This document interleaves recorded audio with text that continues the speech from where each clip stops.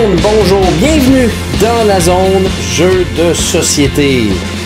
Euh, Aujourd'hui, non, c'est pas un Kickstarter que, j'ai reçu euh, et euh, c'est un jeu qui est pourtant sorti depuis très longtemps, ben très longtemps, quelques années en anglais et qui vient tout juste de sortir en français, donc chez Nuts.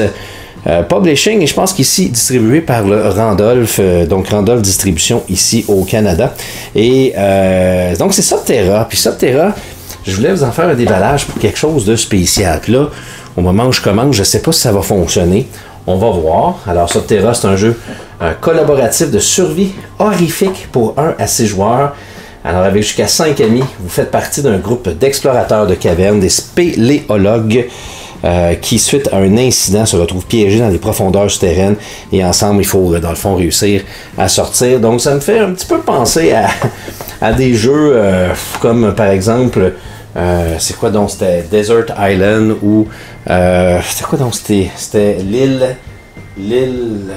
L'île interdite, je pense. En tout cas, je me souviens plus trop. Mais c'est ces fameux jeux où on doit essayer de sortir donc euh, de notre de notre caverne. En tout cas, là, c'est de notre caverne afin de justement pouvoir euh, donc euh, sortir vivant et on doit travailler ensemble pour y arriver. Alors c'est un jeu qui est quand même, je pense, relativement simple et d'ailleurs je vous invite beaucoup à aller voir la vidéo de mon ami David, le professeur Board Game. D'ailleurs c'est grâce à lui si je me suis procuré, c'est en regardant sa vidéo que euh, je me suis dit ça me le prend. Ça faisait longtemps quand même, je dois vous dire que ça, ça me tente de prendre ce jeu-là et je dois vous avouer que ça, sa vidéo m'a donné le petit coup de pouce que j'avais besoin, selon moi, pour pouvoir justement donc l'acheter. Alors c'est un, livret d'instructions euh, très intriguant, très intéressant, euh, qui euh, je pense va être bien une lecture quand même assez facile en français. Ça c'est toujours très très agréable et en plus de ça, bien comme je vous dis, professeur Borgame qui a fait une vidéo. Alors on a différents petits jetons. Alors ça, c'est des, des jetons d'inondation, des jetons euh, d'éboulement. Ça, ça doit être le fameux jeton euh, du premier joueur. Alors les jetons qui sont de qualité correcte quand même dans l'ensemble. OK, donc euh, ici on a des gens de petites de de cavernes, d'autres jetons d'état avec les fameux jetons de point de vie. Quand je vous dis, c'est quand même pas si mal comme qualité au niveau du carton. Puis, euh, comme je vous dis, ça sera, ça sera pas très très long.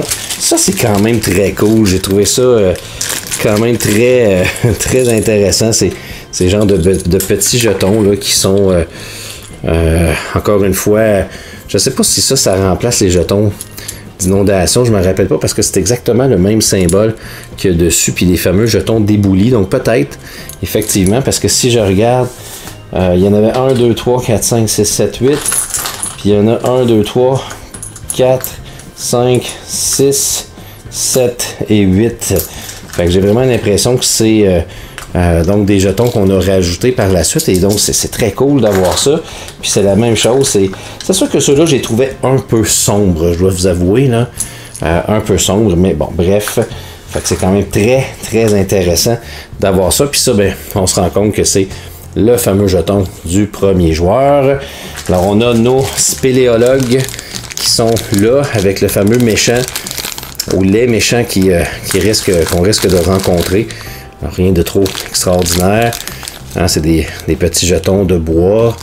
Donc ça va quand même, bien à ce niveau-là.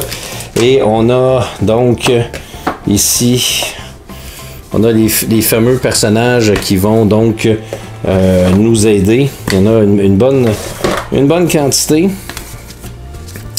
Comme on peut voir, donc on a le plongeur avec les habiletés euh, spéciales. Alors on a l'éclaireur. Ensuite on a le géologue qui peut déblayer intuition, ingénieur. Ensuite on a le ou la grimpeur, le ou la médecin. Ensuite le garde du corps et le chef. Et on voit ici qu'il y a comme j'ai comme l'impression qu'on a le côté qui l'explique puis le côté qui est plus imagé. Euh, J'imagine qu'on peut prendre un côté ou l'autre sans, sans problème. Alors on voit qu'ils ils sont, ils sont numérotés aussi. Donc ils sont vraiment d'une qualité exceptionnelle. Ça c'est c'est du carton très très solide. On a également un dé. Donc le jeu vient avec un dé qui est légèrement translucide. Et là, on a les fameuses tuiles euh, qui sont là, selon ce que j'ai compris, qui sont également d'excellente qualité. Et nous avons des... Hmm, je sais pas exactement c'est quoi ça. Alors, oh, on a comme des petits, euh, des petits collants. Qu'est-ce que c'est que ces fameux petits collants? Hmm. 12 marqueurs, 8 marqueurs inondation, 3 marqueurs, je sais pas qu'est-ce que sont ces petits collants. Je suis euh, je suis moi-même un peu euh, je, ne comprends pas l'idée. Est-ce qu'on a est-ce qu'on a une, place à mettre ces fameux collants là? Peut-être que je vais finir par les retrouver un de ces quatre. Mais en tout cas, on a des, on a des petits collants qui sont blancs et noirs, qui sont identiques. Ah, ça doit aller sur les, sur les personnages peut-être? Ah, ça doit aller sur les personnages. Donc j'imagine qu'on doit les placer sur les fameux personnages en question pour les, pour les identifier parce qu'ils doivent venir avec leur petit symbole. Euh, ah voilà, voilà, ça doit être ça. Donc le joueur jaune, c'est pour, pour le coller sur, sur le, personnage. Ok, ça c'est bien. Et là ensuite, on a les fameuses cartes. Alors, euh, donc ça c'est les cartes qu'on va piger, qui vont nous rajouter. Ah ben oui, hein, c'est...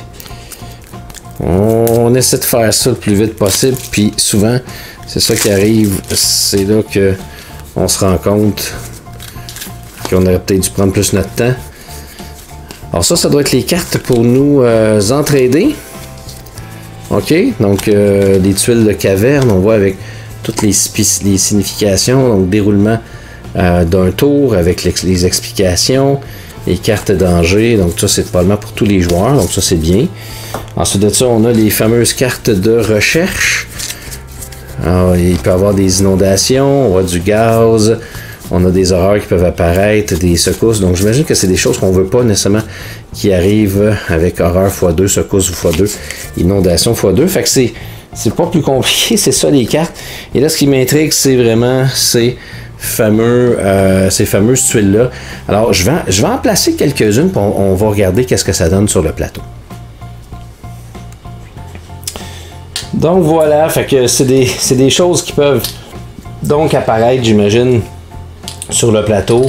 Donc c'est un jeu euh, qui va se former avec l'aide de, ces nombreuses tuiles. Il y en a quand même une bonne quantité justement de ces, de ces fameuses tuiles-là. Puis là, j'en ai d'autres. Euh, j'en ai d'autres ici. Donc euh, à chacun des tours, dépendamment des actions qu'on va faire, on va pouvoir justement placer donc différents types de tuiles qui vont, qui vont nous apparaître. Là, je pense qu'il faudrait que j'essaie de de faire des tuiles qui ont de l'allure. Alors, on a des tuiles qui vont représenter du gaz. On va avoir des tuiles qui sont inondables. Est-ce qu'on a d'autres types de tuiles dans, dans l'autre euh, dans l'autre section? Je vais juste voir si je suis capable de voir s'il y a des tuiles un peu spéciales euh, également. Hein, j'essaie de voir parce qu'il y en a vraiment de, vraiment de différents types. Hein, on voit qu'il y en a d'autres ici. Donc, je pense que ça doit être justement la fameuse fin euh, de la caverne. Bon, puis là, ben, ce qui est quand même assez spécial de ce jeu-là, mais en tout cas, c'est ce qui nous, c'est ce qui nous annonce, puis c'est ce que je vais essayer avec vous. Alors, c'est quand on ferme les lumières, ça a l'air que si vous avez une lumière UV, ben, euh, vous pourriez voir des choses spéciales. Fait que là, ce qu'on va faire, c'est que je vais fermer les lumières. J'ai justement attendu qu'on soit le soir pour pouvoir faire ça. Et là, vous voyez absolument rien. Et là, quand j'allume la lumière, est-ce qu'il y a des choses qui apparaissent? Ah oui, on voit que c'est pas si extraordinaire que je pensais, puis je suis pas sûr que ça va ressortir nécessairement. Là, j'ai une, lampe UV et on voit qu'il y a comme des petits cristaux qui, qui ressortent un petit peu à la lumière. Euh, mais c'est pas mal tout ça. Hein, je vous dirais, je pensais. Je pense pas qu'on peut vraiment jouer avec ce type de lumière-là si, si on voit donc euh, sais pas si vous êtes. C'est sûr que c'est plus à l'œil nu qu'on va, qu'on va remarquer ça, mais on voit quand même un petit peu qu'il y a quelque chose de spécial. Fait que c'était ça un petit peu que je voulais vous présenter. Je trouve ça, euh, je trouve ça intéressant qu'il ait fait ça. Donc, il y a quand même, à l'œil nu, on voit qu'ils ont, qu'ils ont, qu'ils ont fait quelque chose de spécial sur les tuiles. Fait que c'est quand même, je trouve, une magnifique petite pensée intéressante. Alors, on va rallumer les lumières. Fait que, fait que voilà, c'est pas plus long que ça. Je voulais juste euh, tester ça avec vous autres. Alors, euh, c'est le matériel qu'il y a. Donc, euh, dans le jeu Subterra, maintenant, il s'agit de l'essayer. Évidemment, c'est un jeu qui se joue très, très, très bien en solo. Et voilà, c'était mon très petit déballage du jeu Subterra. Donc, abonnez-vous à la chaîne si ce n'est pas déjà fait. Allez voir mon Facebook ainsi que mon Instagram. Allez faire également un petit tour sur mon commanditaire Le Valet Cœur au www.levalet.com. Allez faire également un petit tour sur ma campagne Patreon. Et d'ici la prochaine fois, amusez-vous avec vos jeux de société. Et nous, on va se revoir très bientôt.